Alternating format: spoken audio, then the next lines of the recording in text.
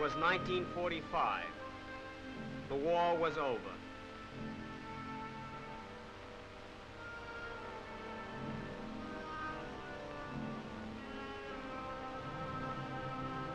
Slowly, painfully, life came back to the ruins of Europe.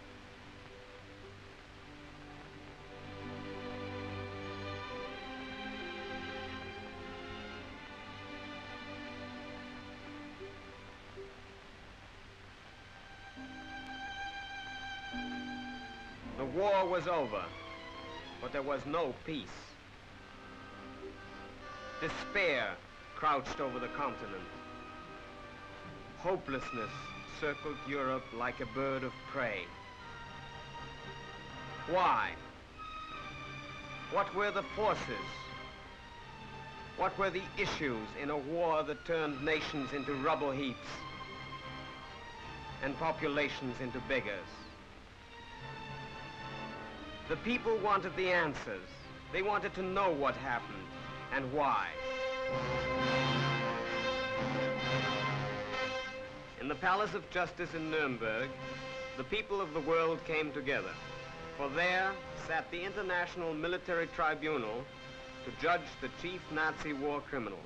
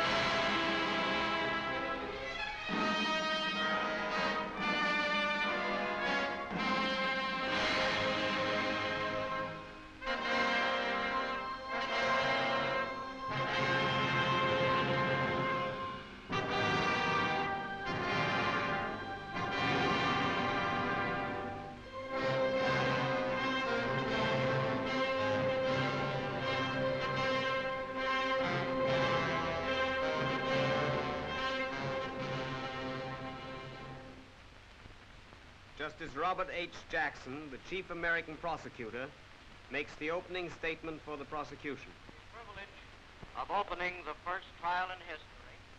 The privilege of opening the first trial in history for crimes against the peace of the world imposes a grave responsibility. The wrongs which we seek to condemn and punish have been so calculated, so malignant, and so devastating that civilization cannot tolerate their being ignored because it cannot survive their being repeated. That four great nations, flushed with victory and stung with injury, stay the hand of vengeance and voluntarily submit their captive enemies to the judgment of the law is one of the most significant tributes that power has ever paid to reason. This inquest represents the practical effort of four of the most mighty of nations, with the support of 15 more, to utilize international law to meet the greatest menace of our times, aggressive war. The common sense of mankind demands that law shall not stop with the punishment of petty crimes by little people. It must also reach men who possess themselves of great power and who make deliberate and concerted use of it to set in motion evils which leave no home in the world untouched. In the prisoner's dock sit 20 odd broken men, reproached by the humiliation of those they have led, almost as bitterly as by the desolation of those they have attacked. Their personal capacity for evil is forever past.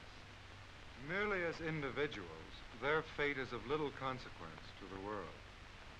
What makes this inquest significant is that these prisoners represent sinister influences that will lurk in the world long after their bodies have returned to dust. They are living symbols of the arrogance and cruelty of power, of racial hatreds, of terrorism and violence. They are symbols of fierce nationalisms and of militarism, of intrigue and war making which have embroiled Europe generation after generation, crushing its manhood, destroying its homes, and impoverishing its life. They have so identified themselves with the philosophies they conceived and with the forces they directed that any tenderness to them is a victory and an encouragement to all the evils which are attached to their names. What these men stand for, we will patiently and temperately disclose. We will give you undeniable proof of incredible events. The catalogue of crimes will omit nothing. It may be that these men of troubled conscience do not regard a trial as a favor, but they do have a fair opportunity to defend themselves, a favor which they rarely extended to their fellow countrymen. We will not ask you to convict these men on the testimony of their foes. There is no count of the indictment that cannot be proved by books and records. And we will show you the defendants' own films. You will see their own conduct and hear their own voices as they reenact for you from the screen some of the events in the course of the conspiracy. The acts of the defendants have bathed the world in blood and set civilization back a century. They have subjected their European neighbors to every spoliation and deprivation. They have brought the German people to the lowest ebb of wretchedness.